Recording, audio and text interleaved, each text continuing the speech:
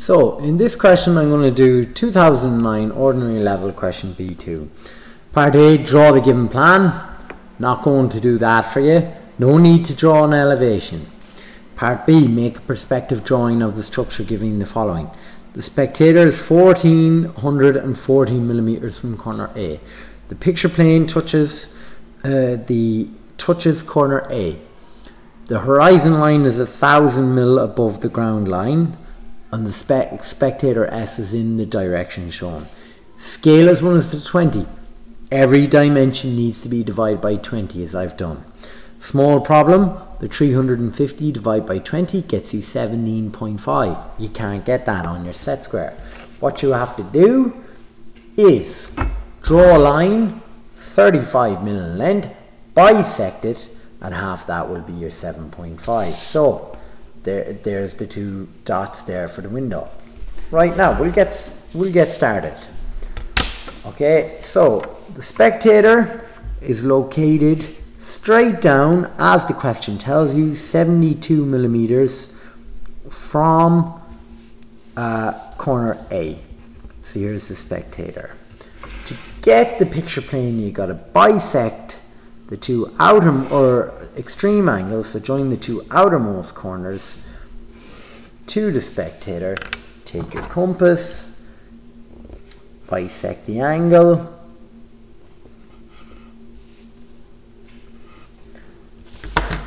this is the center line of vision. Okay and the picture plane is at 90 degrees to that. So I'm lining up my set square with my center line of vision or the bisector of my angle I'm sliding it in here and I'm drawing in the picture plane. Alright so the horizon line can be drawn anywhere after S so I'm bringing down my set square parallel to the picture plane and I'm drawing in the horizon line. Now it says that the distance the horizon line is above the ground line is a thousand mil in real life so that's 50 mil on your sheet. So I'm going to go down perpendicular to the horizon line and measure down 50 and here's my ground line. Okay. GL HL uh, I'm, I'm going to extend these on just in case I need them. So the next thing to do will be to find the vanishing points on the picture plane before you find them on the horizon line Okay, now, oh shucks. In order to find the vanishing points, you have to identify two sets of uh, parallel lines. So look, there's a parallel set here, and then there's a parallel set going the other way, all right, this way. So from the spectator, we're going to go parallel to both sets of those lines until they pierce the picture plane. So from S here, I'm going at 30 degrees until I pierce the picture plane because these are at an angle at 30 degrees. And from S, I'm going at an angle of 60 degrees until it pierces the picture plane. So there's VP2, VP1. Now where they pierce the picture plane, you must go 90 degrees down to the picture plane until you hit the horizon line because the picture plane is being rotated flat onto your sheet. So the the lines that are 90 degrees to the picture plane actually represent arcs in real, real life. So I'm so oh shucks. I'm sliding on my set square here parallel to the center line of vision or perpendicular to the uh, picture plane until it hits the horizon line, VP2 on the horizon line, okay, and VP1 on the horizon line. Now, first and foremost, I'm going to deal with the big outside uh, playhouse model. So this one here.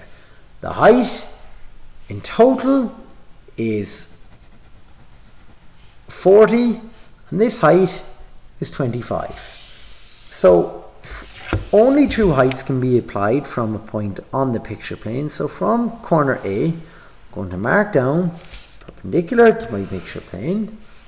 I'm going to measure up 25 and then I'm going to measure up 40 and I'm going to join both of those points to VP2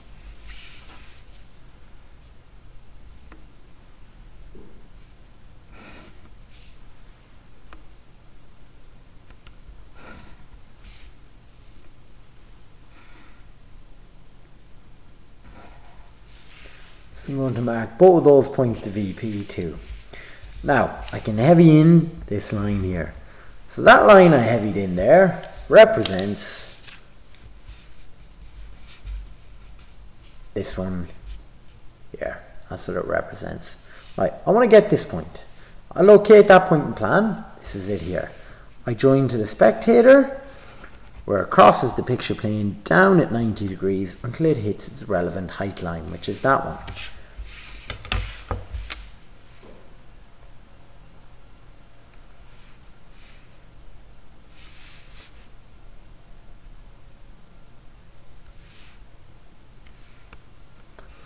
And now, so on this one, I do the same idea. I get the point view of it in plan, that's it there, joined to the spectator, or crosses the picture plane down perpendicular to it. And I can heavy in this portion here. Now, I'm going to join those two corners together.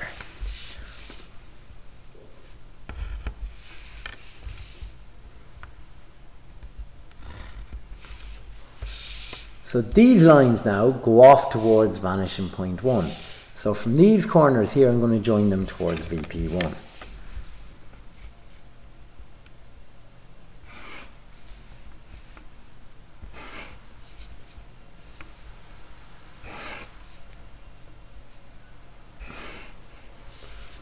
Now, if I want to figure out specifically where to stop, I find this point in plan view, which is here. And I and this one this one is here. I join them to the spectator. So I'll join this one to the spectator. And this one to the spectator. And this one to the spectator.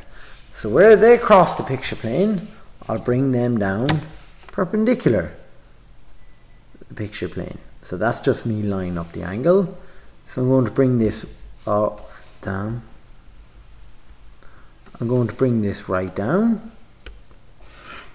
And I'm going to heavy in this portion here. Now, I'll go to this point where it hits the picture plane down perpendicular and it's along that line there so that point joins the VP1 okay and if I wanted to do this okay there'll be no need for it so I won't see it it will be there so I can join here to there.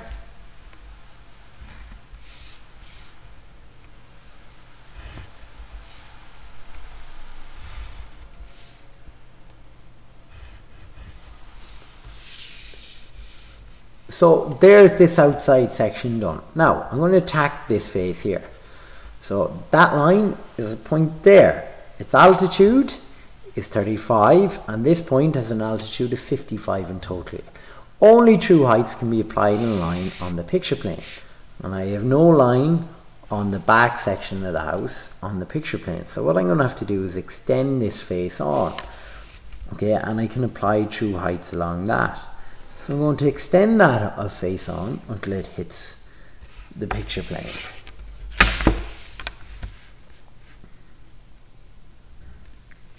I'm going to slide this on here drop it down and I'm going to mark the height of 35 and 55 along here. And I'm going to join them to VP2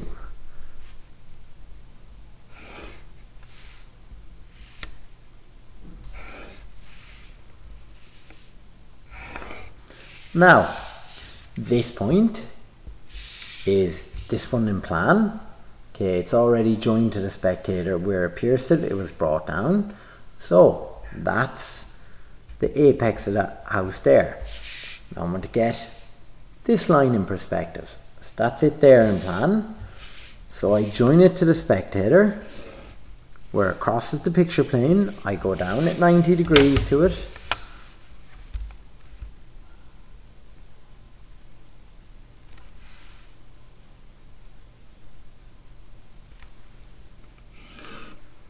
can heavy and now look that line there I can heavy in.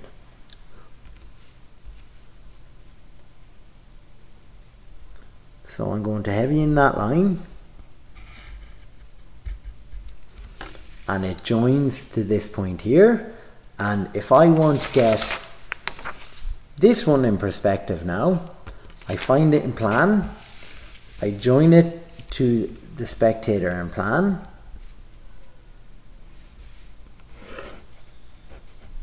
so where it crosses the picture plane I go down 90 degrees it's just a tiny bit from A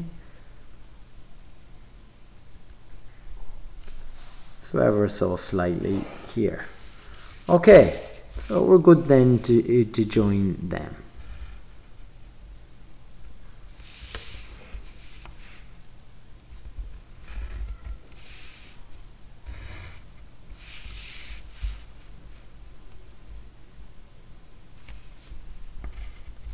Now, if I want to get the back of the house now, I apply the same principle. I join the points here, to the spectator and plan, I drop them down where it appears the picture plane perpendicular to it, and the heights are got from taking these back to VP1. So, let's watch how I do that. So I join that to the spectator. Where it crosses uh, uh, the picture plane, we go down perpendicular to it.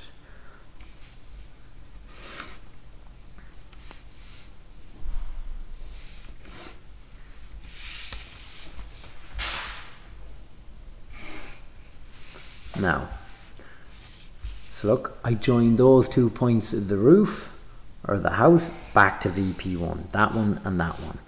Where they intersect is the answer now for my altitude. So join them together. Well, we still got the window to do.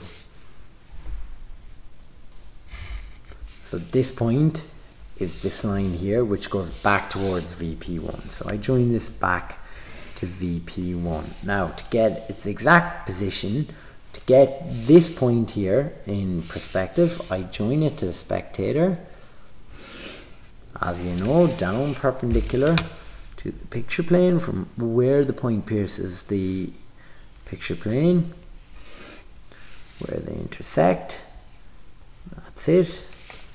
You can join there. Now the next thing we're going to do then is the window.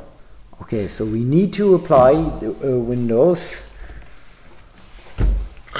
The heights of the window. Now,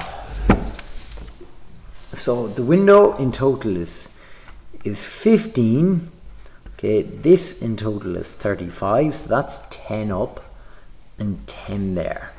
Alright, and true heights can only be applied on a point uh, touching the picture plane. So the window if it was drawn all the way around the house it would remain the same height. So we can use this height line here.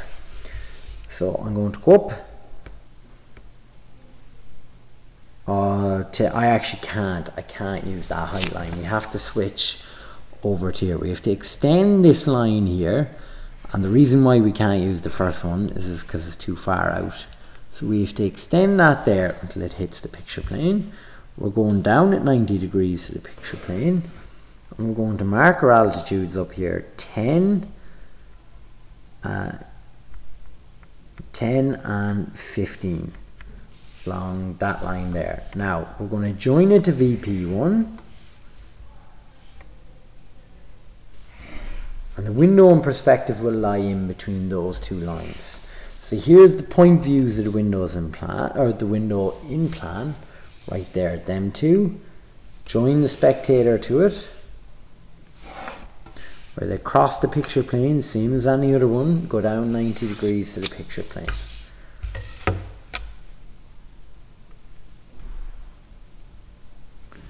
So you can heavy that in heavy that in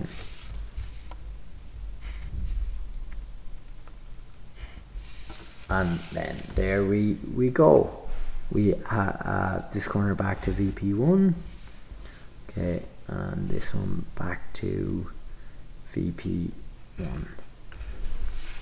and there's the perspective image of the playhouse. Cheers thank you bye bye